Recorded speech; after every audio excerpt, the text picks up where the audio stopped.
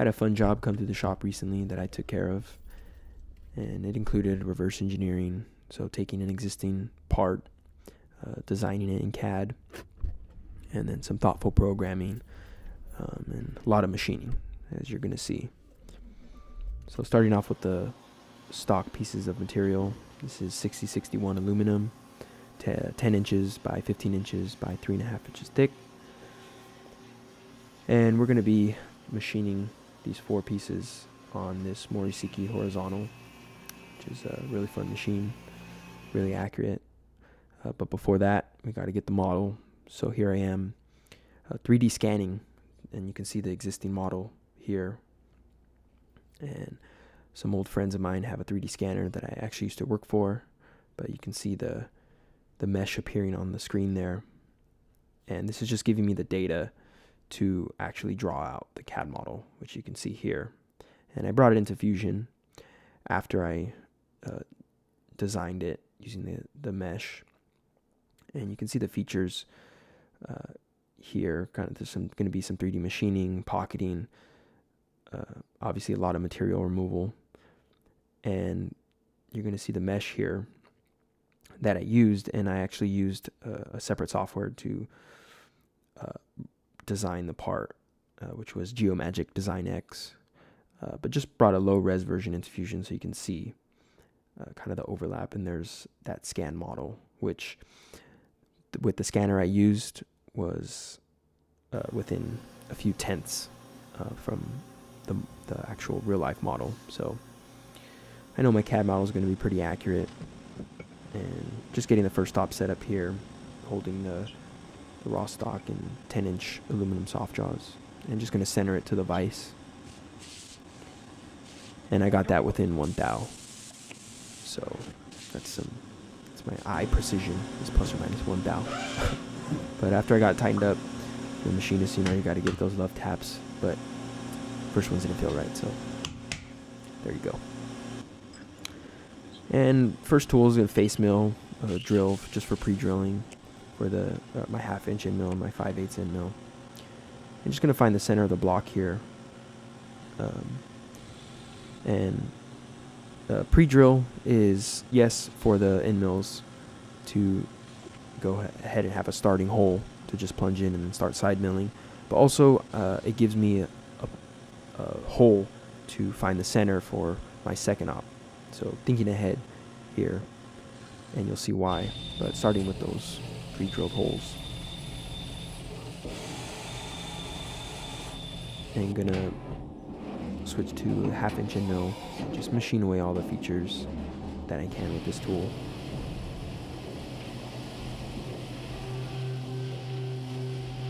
Now we're doing four ops, two roughing and two finishing. And that's more so because there's a lot of material to remove and I just want to get the part roughed out and uh, worry about being precise on the finish work later on. So you can see that, that was the work that my half inch did and I'm to move to the 5 eighths. The half inch is moving at 140 inches a minute, 5 eighths is moving at 100 inches a minute, and my radial, just depending on my depth of cut, varies. But here you can see that 5 eighths kind of went to town there and was too much for the chip augers to handle. But you can see the two main tools here for the first stop and I got all four of them roughed out. Um, and I left uh, a parallel surface uh, so I have two flat edges to basically use the same jaws and uh, basically eliminating setup time. Um, so this allows me to use the same jaws and just clamp, uh, clamp again, and just centering it to the features. And this is the pre-drill hole that I was talking about. Uh, that hole breaking through gives me uh, something to uh, use as my work zero. Um, since I do have the profile roughed out, I don't want to necessarily use the stock to find the center. So again, half inch, 5 eighths is going to do the majority of the work here.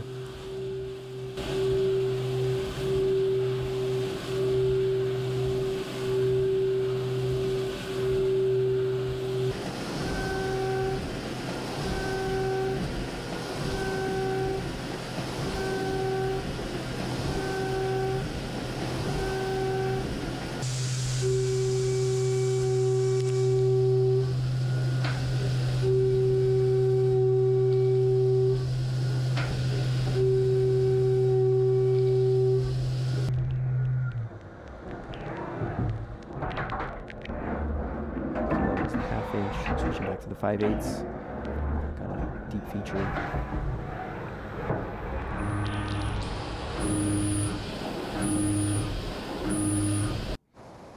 In a close-up, you can see those chips just flying out of there um, with that half inch. This is back to the half inch. Um, and just starting that pocket, and obviously the coolant is very important here to flush out those chips, which if you stick around to the end, you will in fact see why.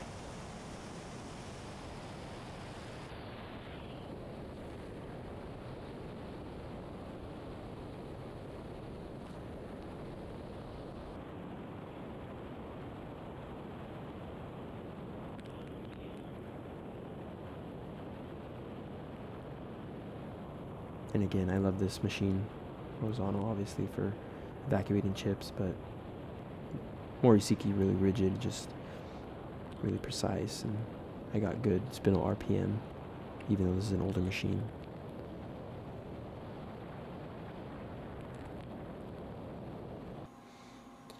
And that was my second op, uh, roughed out the main features. And again, I left an edge parallel with uh, the opposite edge so I can again use the same jaws and this is just reducing setup time um, so that I don't have to machine jaws to the profile. So you can see I'm using that same pre-drilled hole which again just saves time, you know, just wanting to get the, the job in and out as efficiently as possible while still being you know, precise and, and accurate and pu putting in uh, attention to detail. So I started the, this is the third op, uh, doing finishing work, and this was just you know, one of the one of the finish passes for the outside profile. But this operation is gonna obviously do finish profile work, finish that pocket, do the holes, and you can see one of the through holes um, if you're a machinist, you'll know, hey, clearance is clearance. Whether it's one thou or, you know, half an inch. So, so this is the first, well, the third op, first finishing op. And you can see my profile finishes and my holes. Um,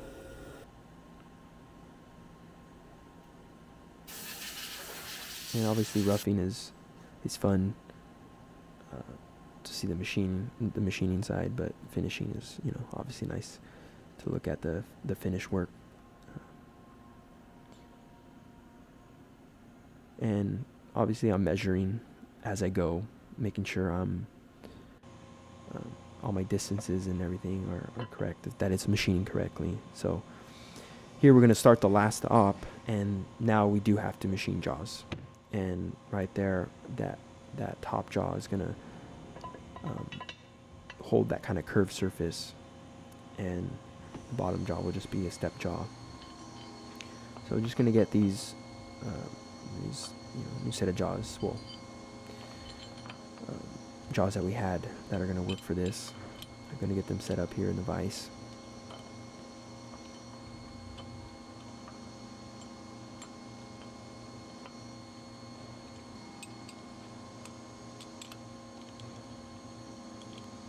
and this was all mapped out in CAD. You know, I drew out my jaws with the with the part overlaying them and saw you know what clearance I had and stuff, how much I had to clamp onto.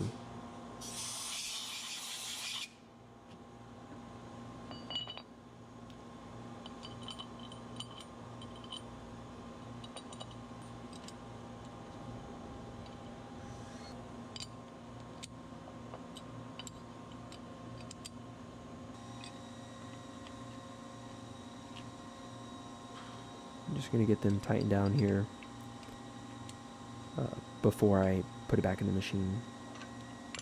Got to apply tension to the jaws, to the movable jaw, so we're going to just clamp this thin parallel. Um, I'm going to be dropping, I want the part to sit uh, pretty far into the jaws, basically as much as possible, just so I don't have to clamp down so hard and, and basically compensating that with more of a clamping face. So made my jaw program to machine obviously that curved surface, but also just the step on the bottom since I'm already sending the program and machining them.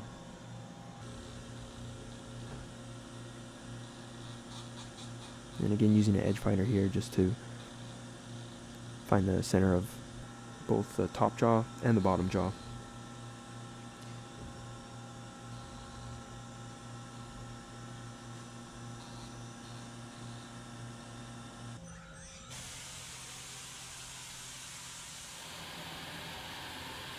I'm going to be actually be using that half inch that I use in the program because these are aluminum jaws. So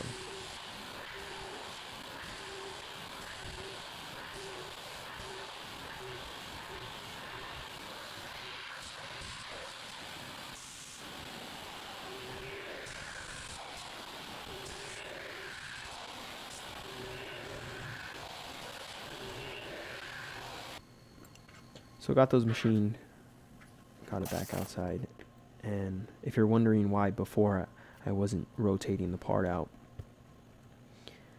uh, I'm sure you saw the material was pretty big, and uh, I just did not want to mess around and find out that the material was going to hit as it was rotating in.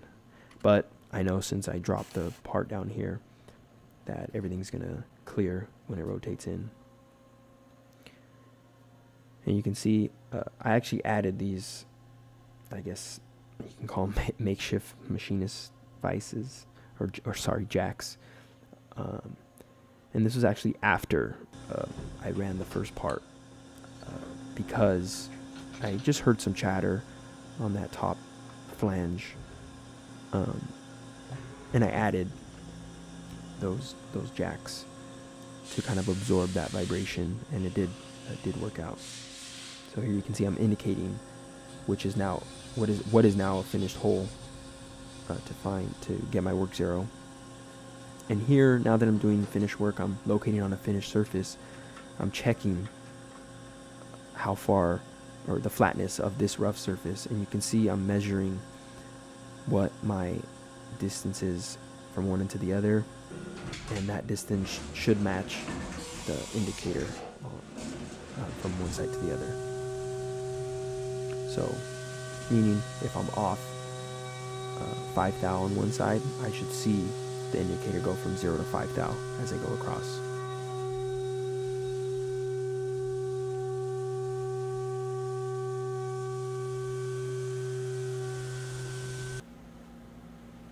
And just some simple finishing work with those same tools and you can see the part came out really nice and I'm really happy with the outcome.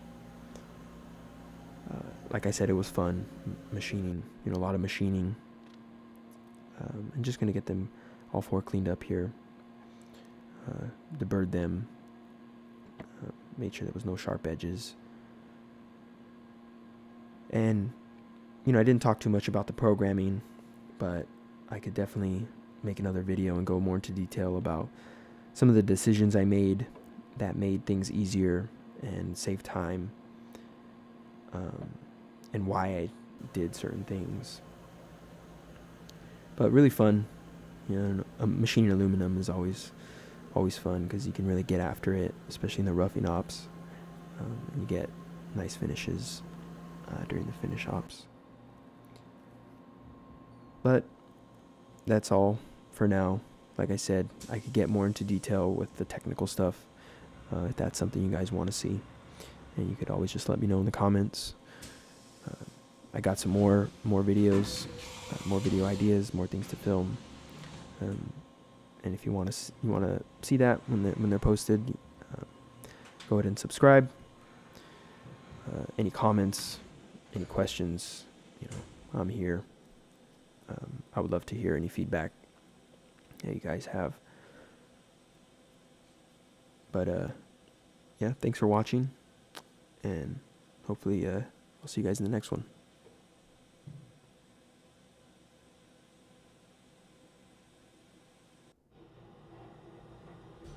This is me getting brave, thinking that I could just use the air. Started off as a really good clip, but.